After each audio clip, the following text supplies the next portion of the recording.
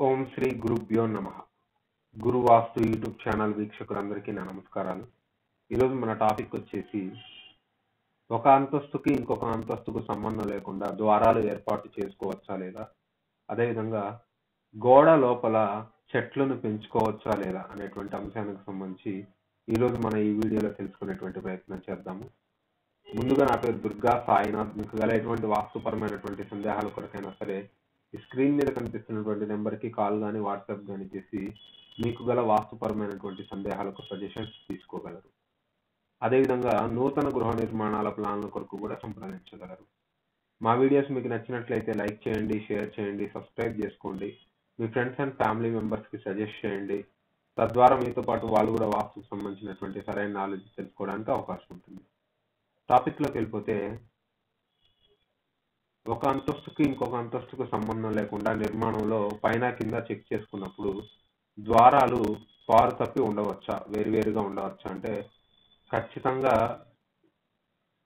Ground floor నుంచి first ఫ్లోర్కి చూసుకున్నా లేదంటే ఫస్ట్ ఫ్లోర్ నుంచి సెకండ్ ఫ్లోర్కి చూసుకున్నా ఎన్ని అంతస్తులు ఉన్న నిర్మాణంలో ద్వారాలన్నింటిని కూడా అయితే ఒకటే పార్లో ఏర్పాటు చేయాలి లేదంటే కంప్లీట్గా పార్కు లేకుండా సపరేట్ సపరేట్గానే పెట్టుకోవచ్చు. కానీ సగం సగం పారు కింద మాత్రం ఎట్టి పరిస్థితుల్లో కూడా ఏర్పాటు చేయకూడదు.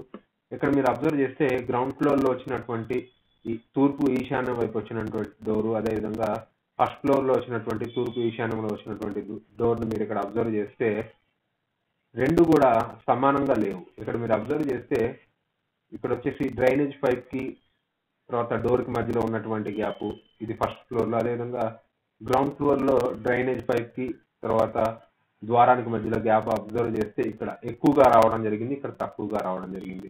దీనికి గల కారణం ఏంటి అని అంటే గ్రౌండ్ ఫ్లోర్లో వచ్చేసరికి పార్కింగ్ కోసం ఏం చేశారు అని అంటే సెట్ బ్యాక్ ఈ ఈశాన్యంలో కటింగ్ ఏదైతే ఉందో అది ఎక్కువ తీసుకోవడం జరిగింది బాల్కనీ కోసం పార్కింగ్ కోసం. తర్వాత ఫస్ట్ ఫ్లోర్లోకి వచ్చేసరికి మనకి ప్లేస్ అంతా వేస్ట్ అయిపోతుంది అని చెప్పేసి ఒక అడుగున్నర దాకా ముందుకు జరిపారు. పార్కింగ్ ఇంకా పైన అవసరం ఉండదు. కేవలం బాల్కనీకి సిట్ అవుట్కి మాత్రమే అవసరం కాబట్టి ఫస్ట్ ఫ్లోర్లోకి వచ్చేసరికి ఈ గోడని కొద్దిగా ముందుకు జరపడం జరిగింది. కాబట్టి అందువల్ల ఏమైపోయింది అని అంటే ఇక్కడ ద్వారాలు రెండు కూడా ఒకదానికొకటి మ్యాచ్ అవ్వలేదు. పారు తప్పి సగం సగం పారులో రావడం జరిగింది. ఈ విధంగా ద్వారాలు ఎప్పుడు మనం ఏర్పాటు చేయకూడదు.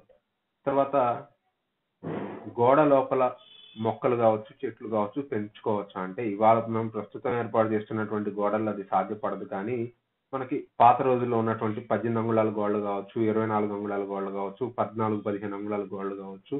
వాటికి సంబంధించి కాంపౌండ్స్లో చాలా మంది పల్లెటూర్లలో ఏం చేస్తూ ఉంటారంటే మధ్యలో మొత్తం ఒక చిన్న పాదిలాగా ఏర్పాటు చేసుకొని మట్టి పోసుకొని ఈ విధంగా పూల మొక్కలు కావచ్చు చిన్న చిన్న పెంచుకోవడం జరుగుతుంది.